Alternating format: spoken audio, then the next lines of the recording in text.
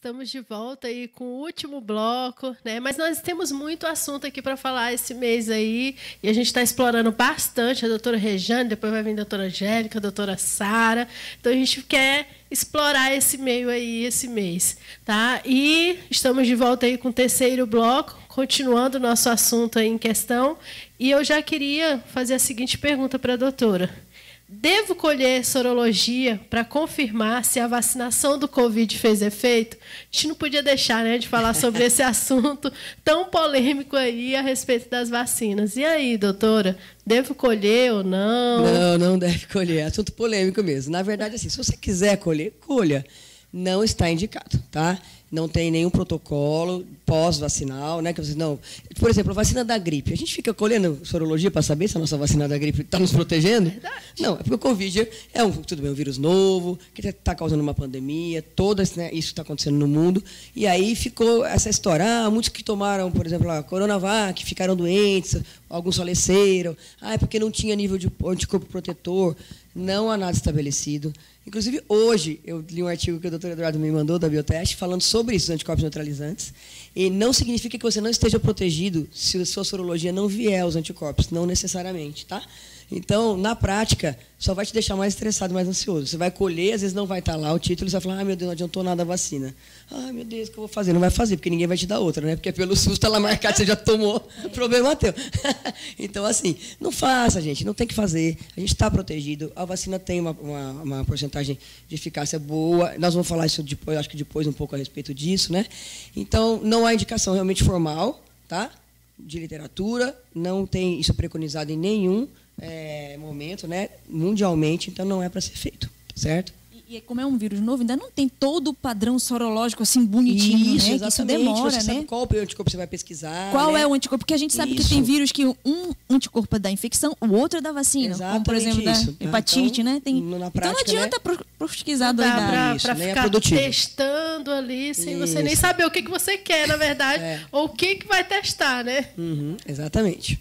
Perfeito. E, doutora, em relação ao adolescente, a gente vê que a criança tem todo um protocolo de vacina bem estabelecido. E quando chega na adolescência, existe vacinas? Como é que deve Sim. ter essa tá. questão? Então, nós temos até a caderneta do adolescente, né? O Ministério tem umas cadernetas ótimas. Isso, isso o Ministério é super organizado, né? A caderneta da saúde da criança, a caderneta do adolescente, do adulto e do idoso. É, da gestante, exatamente. Então, o adolescente, é, ele precisa se imunizar contra o HPV a partir de 9, 9 a 13 anos as meninas e de 11 a 14 anos os meninos. Tá? A vacina do HPV é uma vacina muito importante, porque ela previne alguns tipos de cânceres, né? Inclusive a doutora Regiane sabe aí, né? Câncer de útero, né? Colo de útero, câncer de pênis. E, então, é uma vacina que é importante ser tomada, é, inclusive antes do adolescente iniciar a vida sexual ativa, né? Porque é justamente uma doença sexualmente transmissível.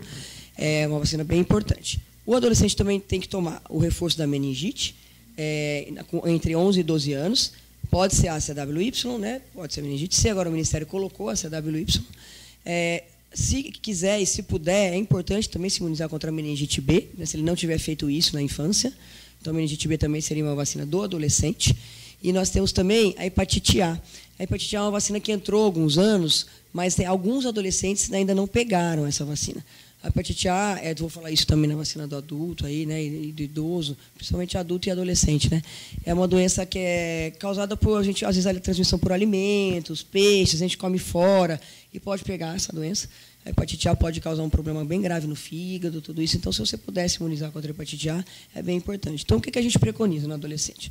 É, principalmente o HPV, a meningite ACW, a, o reforço com 15 anos da tríplice bacteriana, que seria a DTP, que na verdade seria a celular, se for possível, que é tétano, coqueluche, difteria. É, ou você pode fazer a dupla também, a dupla adulto. É, a hepatite A, se for possível ser feita. A influenza anual, se, né, se a família quiser, não está incluído no do Ministério, mas se quiser pagar, pode ser feito também. Tá? Até seria importante. E a meningite B também, que não é do SUS, mas poderia ser feita. É interessante falar disso. E eu já quero fazer aqui outra pergunta, doutora. É, sobre a adesão né? Assim, como que é a adesão desse público, né, dos adolescentes, tanto por parte do adolescente em si, quanto por parte da família, né, em si? Então, o adolescente é um, um ser humano meio esquecido, é né? E ele é, é também negligenciado. É. é. na verdade, porque ele fica naquele meio de caminho, né? É, a pediatria né, agora cuida até 18, 19 anos, que é a adolescência. Não era antes, né? A adolescente ficava naquele meio que não sabia se era do clínico ou do pediatra. E a mãe também não levava mais no médico. Ela falava, não tem médico para ele porque ele não é do pediatra, porque ele já cresceu, né? Mas ele está muito pequeno ainda para ir para o clínico. Então, e não levava no médico, não fazia nada, não dava vacina, não fazia nada. Verdade. Então, hoje, é. hoje, agora, como eu estou pegando muita hum. questão de, de cólica menstrual muito cedo, as mães hum. já levam. E geralmente, Isso. como elas sofriam, ela já diz, não, doutora, eu trouxe logo porque eu já sofria Aí a gente consegue. Aí na ginecologia até que elas já estão levando Sim. menina ali com 12, 13. E aí as meninas até aproveitam que elas sofrem. Mas fora isso, não. Não, não leva, exatamente. Hoje, como tem muito mais informação, a gente tenta né, é, passar essa informação, que o adolescente tem essa carteira vacinal, é, que tem necessidade de fazer, pelo menos essas que seja que seja pelo SUS, mas o HPV, a, o reforço dado tétano, né, que eu falei, às vezes ele se machuca, faz um ferimento e pode desenvolver tétano se não tiver com os reforços em dia.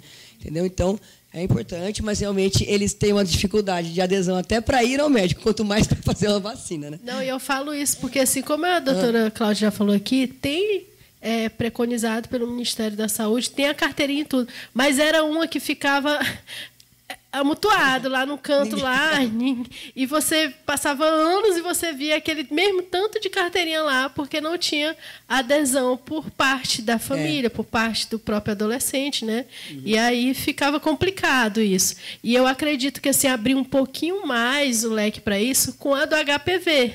Né? Isso, exatamente. Agora as outras ainda continuam, acredito, sendo negligenciadas mesmo São. aí. E, e, eu não acredito ainda que tem uma boa adesão, é. né? Mas é muito importante. Então peguem a carteira, se não tem, vão atrás, que existe sim, viu, as vacinas aí para o adolescente. Com certeza. E eu já gostaria de saber, então, já que a gente está assim por categoria, fala para a gente um pouquinho a respeito das vacinas, então, do adulto, para a gente poder ir é, é, por faixas, tá né, entendendo esse processo. Olha, a gente acha, como adulto, depois que a gente cresce, a gente acha que não precisa tomar mais nada, né? Ah, beleza, agora então não precisa tomar mais nada, né? Tô, hum, tô, só, tô bem, só só da gripe, né? Talvez anualmente, se eu quiser pagar para não pegar gripe. Não, gente, tem muita vacina também que é preconizada para ser feita para os adultos. É, a vacina é, do HPV, ela pode ser feita até 45 anos, né? Então tem muitos adultos, na verdade, que não pegaram. O HPV começou há pouco tempo, né? Pelo SUS. Não é uma vacina muito é, de muitos anos. Então, é uma vacina que seria muito bom ser indicada, até os urologistas, obstetras indicam, né? Fazer os ginecologistas para ser feito, né? Pode falar até um Isso, pouquinho. E, inclusive, é, até pacientes que já tiveram lesões de câncer de colo, ela tem uma boa indicação porque ela aumenta a cobertura de, de anticorpos e evita reincidência de novas lesões, entendeu? É bom escutar isso, doutora, porque já existe um mito que fala que depois que entrou em contato com o vírus não precisa, não, não faz mais efeito, não, não precisa é, mais. É, é um mito, é assim, ele fica numa forma latente lá na célula. Isso. Por, ou seja, não causa doença, só que ele aproveita a imunidade. Quando dá uma baixa dessa imunidade, causa doença. E o papel da vacina é isso, deixar o quê? A imunidade humoral alta, alta. constante, para evitar essa ruptura aí da imunidade. Então, é importante. Então, olha só, é. gente, aí a dica aí, a informação aí da doutora Cláudia, doutora Regiane, a respeito da vacina da HPV. Então, você pode tomar ainda a vacina, viu? Mesmo não sendo mais adolescente. Isso. Viu? Você pode estar procurando, né, doutora? Exatamente, né?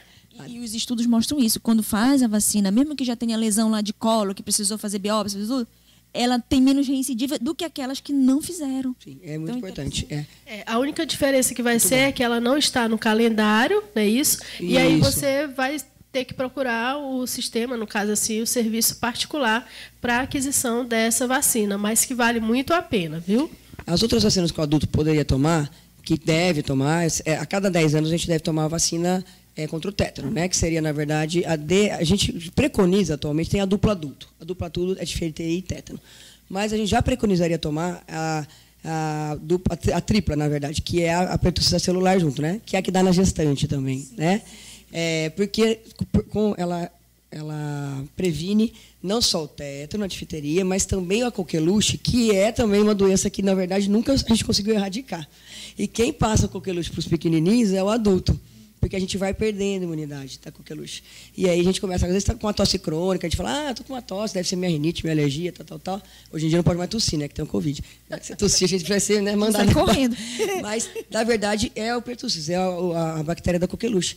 Então, é importante tomar essa tríplice bacteriana a cada 10 anos para você se prevenir contra essas três doenças. É DTPA, é, né? É, DTPA, exatamente, DTPA, justamente. Tá? É, essa vacina pode ser tomada, pode ser tomada na gestação ou ser tomada pelo adulto é, o HPV importante, a vacina da gripe anual, né, se for possível, e se não tiver imunidade contra a hepatite A, muito importante fazer o esquema da hepatite A, que são duas doses. A hepatite A, gente, realmente a gente pega, já vi muito, teve um surto uma vez aqui em Marabá, faz uns três anos atrás, o pessoal comeu um peixe aí, né, um salmão, todo mundo ficou lá amarelão, né? realmente detona com o fígado, pode dar quadros graves. Uhum. A gente pensa, ah, por que, eu vou tomar doença de criança? Não é. É doença da, de saúde pública, né? A transmissão fecal oral. Então, você comeu em lugar errado, né? Que alguma coisa você pode pegar uma doença dessa.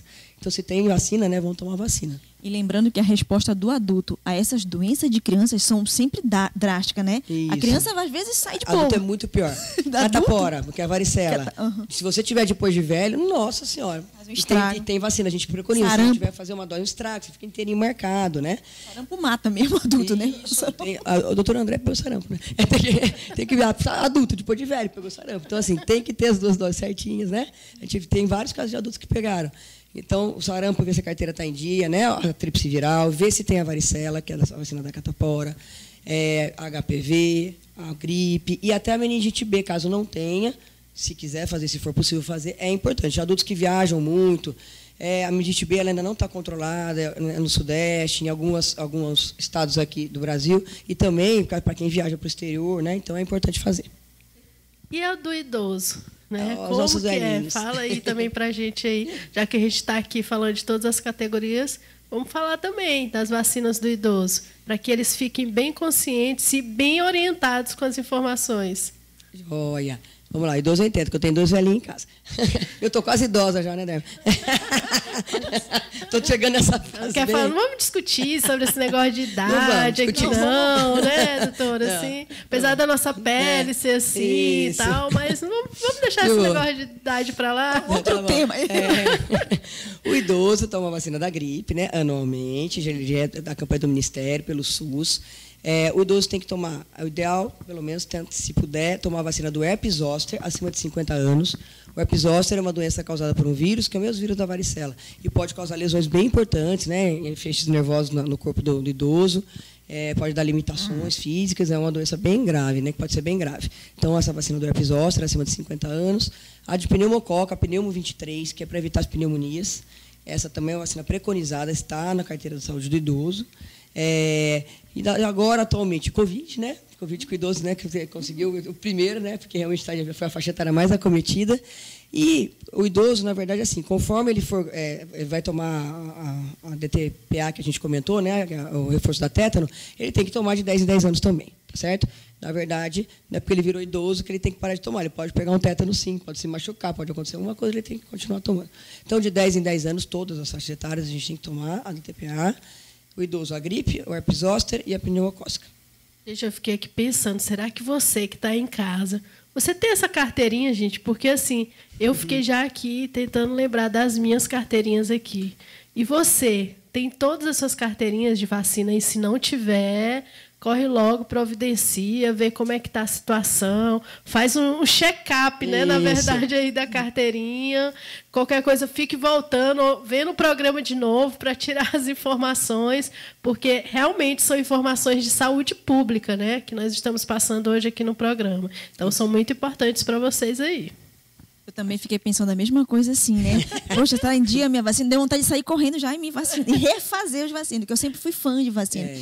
É, inclusive, agora tive um bebê há três anos, né? A minha, eu sei que ela tá dentro da pastinha do Sim. bebezinho lá, que né, direitinho, tá tudo bonitinho, porque eu já deixo tudo junto que aí eu vacino ele e checo a minha. Vacino ele e checo a minha. Mas, assim, é importante isso, né? E, fa e, falando em gestante, vamos refalar, vamos isso, reforçar o que gestante seria. Aqui eu, né? eu, eu empolgo, né? Não, mas pode é. falar. A gente... Tem vacinas já bem estabelecidas para gestante, né? Que já são do pré-natal, né? Então, a gestante tem que fazer a vacina da gripe e a DTPA também, né? Que é a do celular. É, a hepatite B, caso ela não tenha o esquema completo, né? Tem que ver o esquema vacinal se não estiver completo. Essas são as três, na verdade, que são, entre aspas, aí, obrigatórias né, durante o pré-natal, né, doutora Regiane? Você pode falar mais isso, alguma coisa isso. É, é, o que é padrão, né? Hepatite, a DTPA, que é tétano, difteria, Uhum. e, e a, a influenza. Né? São essas principais. Isso, tá. Algumas regiões, dependendo do- da- da situação endêmica local, né? Pode adotar uma, se for endêmico naquela Sim. situação. Mas, de uma maneira geral, são essas que o Ministério preconiza. Tá? E ainda está a questão agora atual, né? muita dúvida em relação à vacina do Covid e tal. Isso. O que, que as sociedades médicas recomendaram? É, o obstetra tem que, junto com a gestante, traçar um perfil e pesar risco e benefício das Certo. vacinas. E aí deixar a, a- a escolha entre a- as partes, né? A, a Faz gestante vacina ou não, tá. isso, assumindo os riscos e obstetra junto apoiando. Então, essas são orientações. Tá joia, beleza. Ótimo aí, gente. Esse povo aqui é top. entendendo? Não sei se deu top. Muito? É. Opa. né? E aí, a pergunta aqui, que tinha para fechar aqui, Vai né? Fechar com chave de ouro. É, quais as impressões sobre a vacinação em relação ao Covid? Só pra gente aqui, que eu não, não ia deixar a doutora Cláudia sair assim, né? Sem falar do Covid. Isso, Sem como- falar, né? Qual seria a a repercussão que você percebe na prática, né? Na sua Sim. experiência, vivendo, que a gente na poderia... verdade, assim, é, como eu trabalho em UTI, né? E a gente, eu também trabalho em Brasília, na UTI de Brasília, e a gente sempre está vendo, né? Os levantamentos, sempre vendo as internações, né? Lá sempre que a gente chega, a gente dá uma olhada, uma fuçadinha. E, na verdade, já tem estatísticas, alguns trabalhos de vários estados, né?